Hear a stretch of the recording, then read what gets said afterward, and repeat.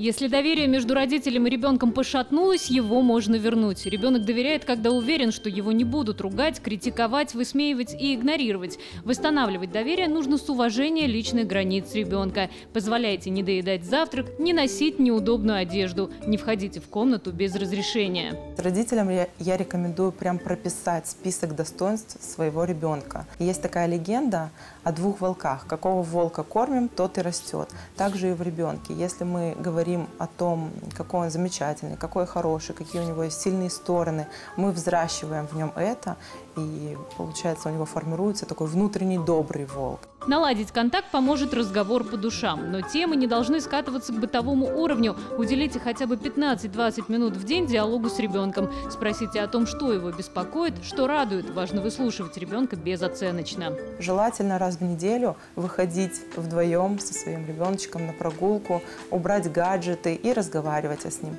с ним о чем-то. Можно пройтись по своим детским местам, рассказать какие-то детские истории, детские ситуации. Дети это очень любят.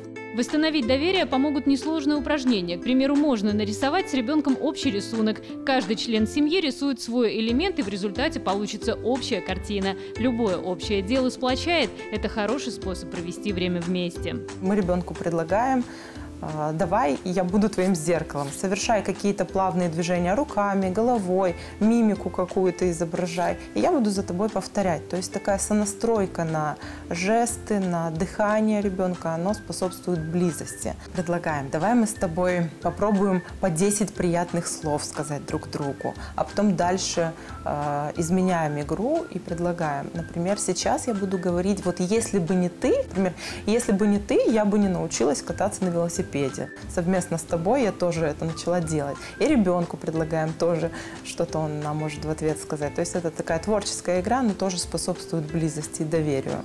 Отношения с ребенком на всю жизнь, поэтому важно применять эти правила не от случая к случаю, а на постоянной основе. Только так можно сформировать безопасные отношения.